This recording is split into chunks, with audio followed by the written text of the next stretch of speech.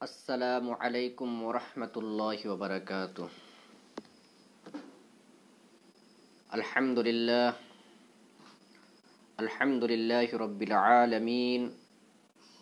والعاقبة للمتقين. والصلاة والسلام على رسوله محمد وآله وأصحابه أجمعين. أما بعد فأعوذ بالله من الشيطان الرجيم. بسم الله الرحمن الرحيم. فاذكروني أذكركم واشكروا لي ولا تكفرون. صدق الله المولانا العظيم. اللهم انفعنا بالقرآن الحكيم. اللهم ارزقنا بكل حرف من القرآن حلاوة وبكل جزء من القرآن جزاء. আলহামদুলিল্লাহ, মহান আল্লাহ রব্বুল আলমিনের দরবারে অসংখ্য অগণিত শকর যে আল্লাহ রব্বুল আলমিন আমাদেরকে মোহাব্বত করে ভালোবেসে দিনই একটি মজলিসে বসার তৌফিক এনায়ত করেছেন। এই জন্য হৃদয়ের গহীন থেকে মোহাব্বতের সাথে একবার কালিমাত শুকর আদায় করেন আলহামদুলিল্লাহ। ওয়ালিল্লাহিল আসমাউল হুসনা।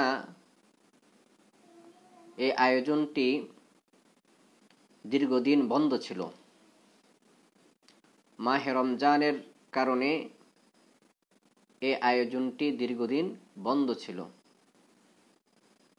কিছু মুহিব্বিন মোতাল্লিকিন অনুরোধ করেছেন যে আল্লাহ রব্বুল আলমিনের নিরানব্বইটি নামের খুসুসিয়াতের যেই ধারাবাহিক আয়োজন ছিল, এটা যেন আবার পুনরায় চালু করা হয়।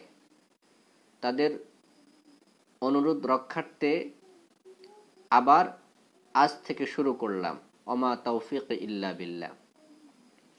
আমরা এর মাধ্যমে জানব আল্লাহ রব্বুল আলমিনের নিরানব্বইটি নামের খুসুসিয়াত। হাদিস শরীফের মধ্যে স্পষ্টভাবে আল্লাহ রসুল সাল্লাম বলেন যে আল্লাহ রব্বুল আলমিনের জন্য নিরানব্বইটি নাম রয়েছে। যে ব্যক্তি এতে এই নামগুলোকে আয়ত্ত করবে, সে জান্নাতে প্রবেশ করবে। সুবাহান আমরা আল্লাহ রব্বুল আলমিনের এই সেফাতি নামগুলোর অর্থ এবং তার খুশুসিয়াত সম্পর্কে ধারাবাহিকভাবে আলোচনা করে আসতেছিলাম। বিশেষ কারণে সময় স্বল্পতার কারণে দীর্ঘদিন তা বন্ধ ছিল। আজ থেকে ইনশাল্লাহ আবার শুরু হলো।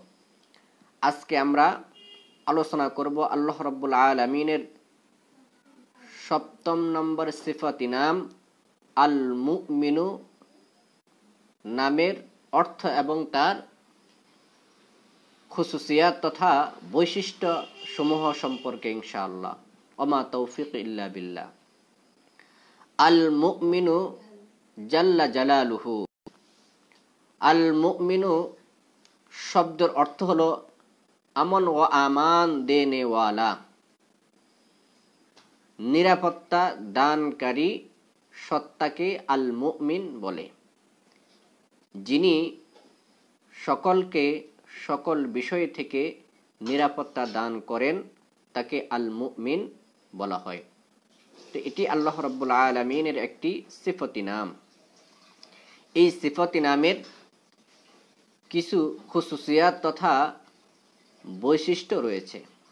আজকে আমরা আল্লাহ রব্বুল আলমিনের এই সিফতি নামের খুসুসিয়াত সম্পর্কে জানব ইনশাআল্লাহ আল মুমিনু শব্দের নয়টি খুসুসিয়াত রয়েছে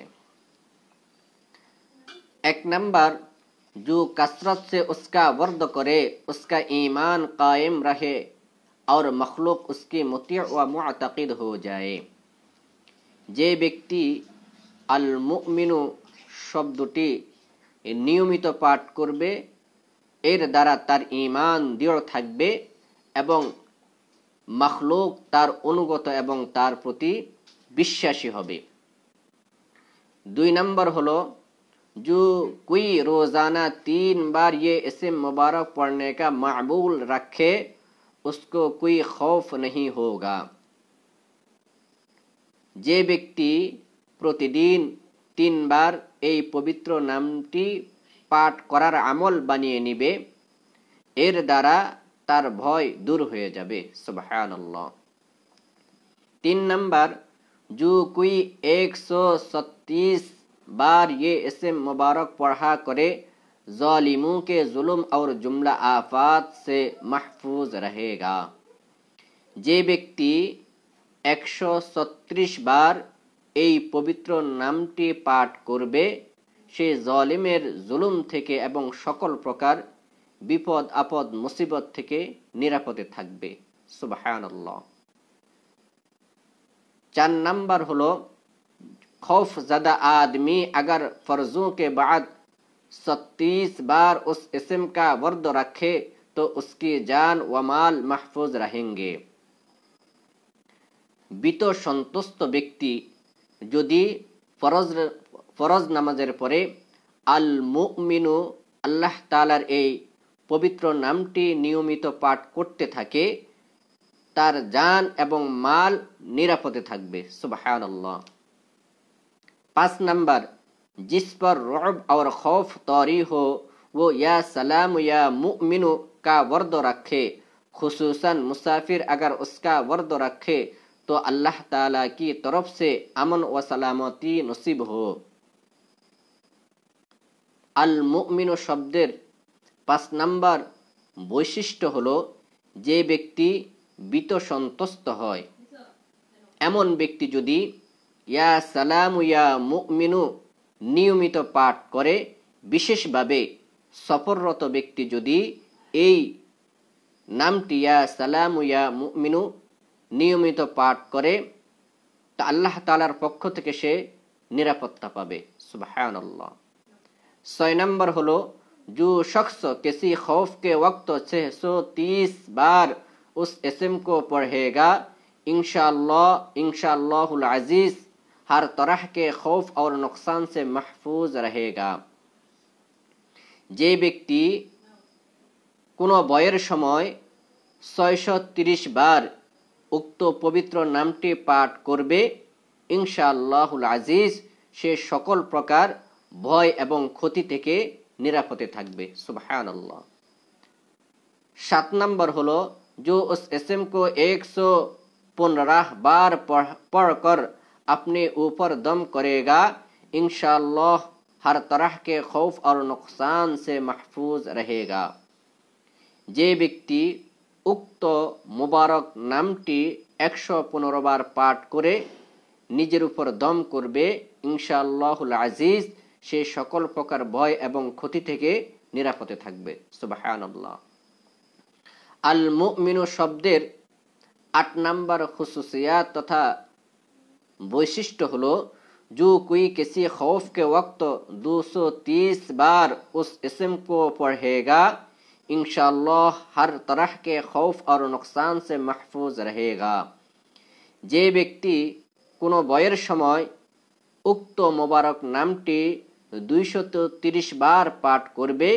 ইনশাল্লাহ সে সকল প্রকার ভয় এবং ক্ষতি থেকে নিরাপদে থাকবে নয় নম্বর হলো जो शख्स उस इसम को पढ़े या लिख कर पास रखे उसका ज़ाहिर व बातिन अल्लाह ताला की আমান में रहेगा আল মুমিনু শব্দটি যে ব্যক্তি পাঠ করবে অথবা লিখে নিজের কাছে রেখে দিবে সে প্রকাশ্য ও প্রকাশ্য ভাবে আল্লাহ তালার নিরাপত্তায় থাকবে তা আল্লাহ রব্বুল আলমিন আল্লাহ রব্বুল আলমিনের এই সেফতি নামের উপর আমল করার তৌফিক এনায়াত করেন যে খুশুসিয়াতগুলো আজকে আমরা আলোচনা করেছি, আমরা সকলেই এর উপর যেন আমল করতে পারি, আল্লাহ রব্বুল আলমিন আমাদের সকলকে তৌফিক এনায়াত করেন।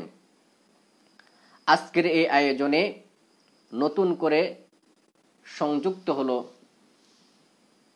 যেই গল্পে প্রেম বাড়ে, অর্থাৎ আমরা এতে আলোচনা করব এমন কিছু ঘটনা আমরা আলোচনা করব নবী রসুলদের সাহাবাইক রামের তাবে এবং তাবে তাবে এবং আউলিয়াই রামদের এবং আল্লাহ তালার প্রিয় ব্যক্তিদের কিছু ঘটনা আমরা এই অংশে আলোচনা করব, যার মাধ্যমে আল্লাহ রব্বুল্লা আলমিনের প্রতি ভালোবাসা, মোহাব্বত ইনশাল্লাহ বৃদ্ধি পাবে।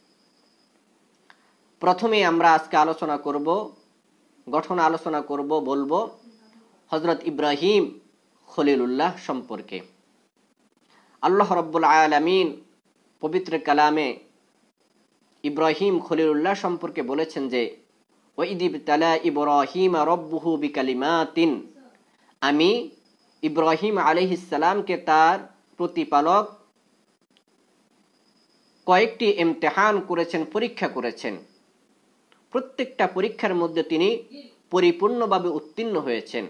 এরপরে আল্লাহ রব্বুল আলমিন তাকে জাতির পিতা ঘোষণা করেছেন। এরপরে আল্লাহ রব্বুল আলমিন আয়াতের শেষ অংশে বলেছেন যে, ইব্রাহিম খলিল্লাহ বললেন, আমাকে তো জাতির ইমাম বানিয়েছেন, আমার বংশধরকেও জাতির ইমাম বানান। আল্লাহ রব্বুল আলমিন বলেছেন, জালিমদের সম্পর্কে আমার এই ওয়াদা নেই। অর্থাৎ আমিও আপনার সন্তানদেরকে পরীক্ষা করব। তারা যদি পরীক্ষার মধ্যে উত্তীর্ণ হয়, তাহলে আমি তাদেরকে ইমাম বানাবো। আর যদি তারা উত্তীর্ণ না হতে পারে, তাহলে আমি তাদেরকে ইমাম বানাবো না, বরঞ্চ আমি তাদেরকে লাঞ্ছিত আর অপমানিত করব। তাহলে আজকে আমরা শুনব ইব্রাহিম খলিলুল্লাহ সম্পর্কে একটি প্রেম বাড়ানো গল্প বা ঘটনা। আল্লাহ রব্বুল আলমিন ইব্রাহিম খলিলুল্লাহকে তার বন্ধু ঘোষণা করলেন। তো জিব্রাইল আমিন আল্লাহ রব্বুল আলমিনের কাছে জানতে চাইলেন, হে আল্লাহ, আপনি ইব্রাহিমকে আপনার খলিল বন্ধু ঘোষণা করলেন। তার এমন কি মায়া বা মোহাব্বত আপনার প্রতি, যার কারণে আপনি তাকে আপনার খলিল ঘোষণা করলেন। তখন আল্লাহ রব্বুল আলমিন মানব আকৃতিতে জিব্রাইল আলাইহিসালামকে ইব্রাহিম খলিলুল্লাহকে পাঠা, কাছে পাঠালেন। বোঝানোর জন্য যে ইব্রাহিম খলিলুল্লাহ আল্লাহ রব্বুল আলমিনকে কি পরিমাণ মোহাব্বত করেন, ভালোবাসেন। তো ইব্রাহিম খলিলুল্লাহ বকরির পাল সরাচ্ছেন মাঠে। এমত অবস্থায় দেখলেন এক লোক পাশ দিয়ে যাচ্ছে। ওই লোকটি ইব্রাহিম খলিলুল্লাহকে দেখে এই বাক্যগুলো বললেন, সুবাহানা জিল মুলকি ওয়াল মালাকুত, সুবাহানা জিল ইজ্জাতি ওয়াল আজমতি ওয়াল হাইবাতি ওয়াল কুদরতি ওয়াল কিবরিয়াই ওয়াল জাবারুদ এই বাক্যগুলো বললেন। হজরত ইব্রাহিম খলিলুল্লাহ যখন তার প্রিয় মাওলা মোহাব্বতের পাত্র, এর এই সকল প্রশংসার বাক্য শুনলেন, ইব্রাহিম খলিলুল্লাহকে ওই, ইব্রাহিম খলিলুল্লাহ ওই লোকটিকে ডাকলেন, ডেকে বললেন, তুমি আল্লাহ রব্বুল আলমিন সম্পর্কে এত সুন্দর সুন্দর বাক্যগুলো বললা, এই বাক্যগুলো তুমি আবার বলো। ওই লোকটি বলল, আমি তো বিনামূল্যে এই বাক্যগুলো আবার বলব না। যদি আমি এই বাক্যগুলো আবার বলতে হয়, আমাকে উপহার দিতে হবে। তখন ইব্রাহিম খলিউল্লাহ বললেন, দেখো, আমার যে এই বকরির পাল আছে, এই বকরির পাল থেকে অর্ধেক আমি তোমাকে দিয়ে দিব। তারপর তুমি এই প্রশংসা বাক্যগুলো আবার বলো।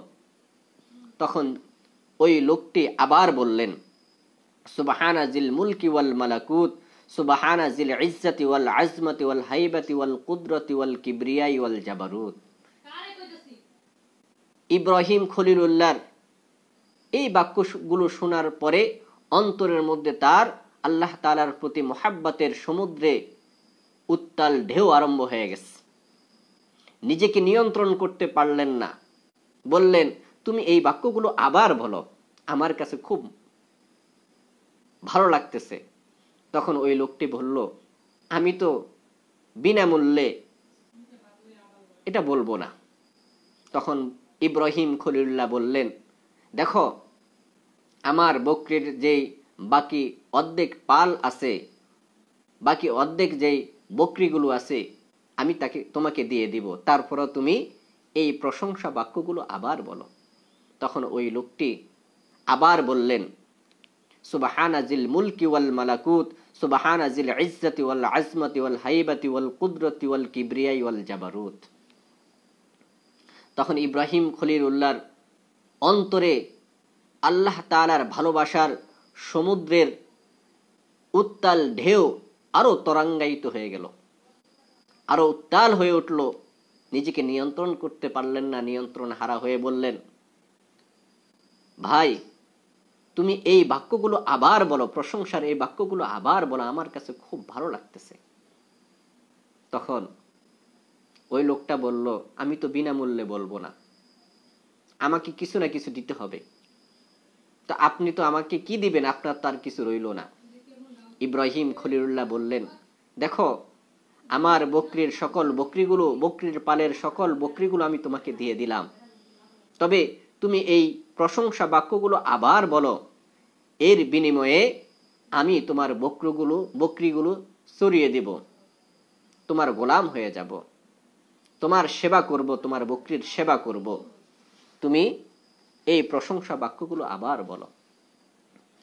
তখন ওই লোকটি বলল, যে আমি মানুষ নয়। আল্লাহ রব্বুল আলমিনের পক্ষ থেকে প্রেরিত পেরেস্তা জিব্রাইল আমিন, আপনাকে পরীক্ষা করার জন্য এসেছি। আল্লাহ তালা আপনাকে খলিল ঘোষণা করেছেন। আপনার কথা আসমানে বহুল আলোচিত আলোচিত হয়। আল্লাহ তালা আমাদের সামনে আপনার কথা আলোচনা করেন, আপনার ভালোবাসার কথা, মোহাব্বতের কথা, কোরবানির কথা আলোচনা করেন। যার কারণে পরীক্ষা করার জন্য আমি এসেছি মানব আকৃতিতে। আসলে আপনি আল্লাহ তালার খলিল হওয়ার উপযুক্ত। কারণ আল্লাহ তালার প্রেমে এতটাই পাগল যে নামগুলো শুধু ওনার প্রশংসার নাম শোনার জন্য আপনি নিজের সব কিছু বিলিয়ে দিচ্ছেন। আসলে আপনি প্রকৃতপক্ষে খলিল হওয়ার উপযুক্ত। এক কবি কতই না সুন্দর বলেছেন একদম বি मोहब्बत चुप न सकी जब तेरा किसी ने नाम लिया एकदम भी मोहब्बत चुप न सकी जब तेरा किसी ने नाम लिया जान दी दी हुई उसी की थी हक तो ये है कि हक अदा ना हुआ ইব্রাহিম খলিলুল্লাহ আল্লাহ তালার প্রেমে কতটাই পাগল ছিলেন আরেকটা ঘটনা বললে বুঝে আসবে। যখন তা ইব্রাহিম খলিলুল্লাহর মৃত্যুর সময় গনিয়ে আসলো, মালাকুল মৌত আসলেন খলিল খলিলুল্লাহর রুহকে কবস করার জন্য। যখন রুহ কবস করবেন, তো ইব্রাহিম খলিলুল্লাহ মালাকুল মৌতকে বললেন আচ্ছা বলো তো দেখি হাল রাইতা খলিলান ইয়াকবিদু রুহা খলিলিহি। তুমি কি এমন কোনো বন্ধু দেখেছ যে বন্ধু অপর বন্ধুর রুহ কবজ করে? মালাকুল মৌত বললেন, না, কথা আল্লাহ তালা তো আমার বন্ধু। তাহলে তিনি কীভাবে চান আমার রুহ কবজ করতে? তো মালাকুল মৌত বলেন আচ্ছা আমি আল্লাহ তালার কাছ থেকে জেনে আসি। মালাকুল মৌত আল্লাহ রব্বুল আলমিনের কাছে গেলেন। গিয়ে বললেন যে, ইব্রাহিম খলিলুল্লাহ, তো কথা বললেন যে, হাল রাইতা খলিলান ইয়াকবিদু রোহা খলিলিহি? তখন আল্লাহ রব্বুল আলমিন উত্তরে দিলেন, হাল রাইতা খলিলান ইয়াক রহু লেকা খলিলিহি? যে, তুমি কি এমন কোনো বন্ধু দেখেছ যে বন্ধু তার অপর বন্ধুর সাথে দেখা করতে, সাক্ষাৎ করতে অপছন্দ করে?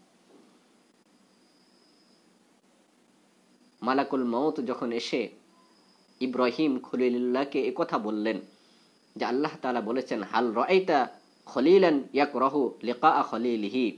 যে তুমি কি এমন বন্ধুকে দেখেছ, যে বন্ধু অপর বন্ধুর সাথে সাক্ষাৎ করতে অপছন্দ করে? ইমা হজরত ইব্রাহিম খলিলুল্লাহ যখন একথা শুনলেন, সাথে সাথে বললেন, আজ্জিল আজ্জিল, জলদি করো আমি আমার বন্ধুর সাথে সাক্ষাৎ করতে চাই। এখানে আল্লাহ রসুল সাল্লাহ সাল্লামের একটা হাদিস মনে পড়ে গেল।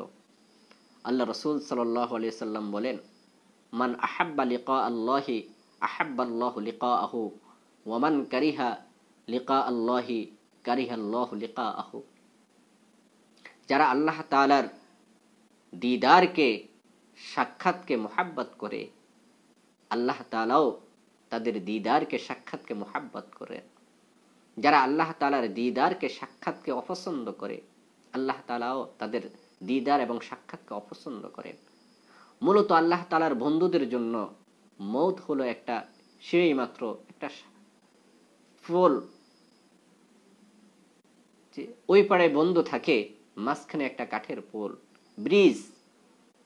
বাস এই ব্রিজ পার হয়ে সে বন্ধুর সাথে সাক্ষাৎ করবে মৌটটা হলো ঠিক তদ্রুপভাবে আল্লাহ তালার বন্ধুদের সাথে আল্লাহ তালার সাথে মিলানোর একটা মাধ্যম মাত্র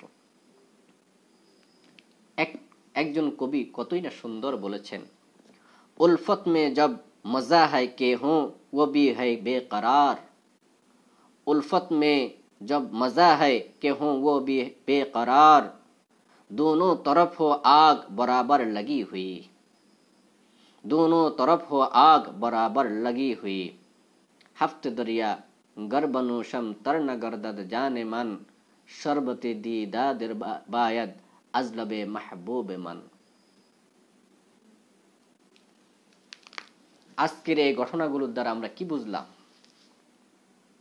যে আল্লাহ রব্বুল আলমিনকে যারা মোহাব্বত করবে আল্লাহ তাদেরকে মোহাব্বত করবেন যারা আল্লাহকে মায়া কর, মোহাব্বত করবেন, আল্লাহ তাদেরকে মোহাব্বত করবেন। তাদের মৃত্যু মূলত তাদের জন্য ভয়ের কোনো কারণ নেই, বরঞ্চ তাদের সুখের বার্তা বাহক। তাদের বন্ধুর সাথে মিলনের সেতু। আল্লাহ রব্বুল আলমিন আমাদের সকলের অন্তরে আল্লাহ তালার প্রতি মোহাব্বত, ভালোবাসা বৃদ্ধি করেন। তার বাতানো, বাতলানো পথে তার রসুলের শূন্য তরিকায় আমরা নিজের জীবনকে পরিচালিত করতে পারি। আল্লাহ তালা তৌফিক এনায়ত করেন। ওমা আলাইনা ইল্লাল বালাগ। আসসালামু আলাইকুম রহমতুল্লাহি ওবরাকাতু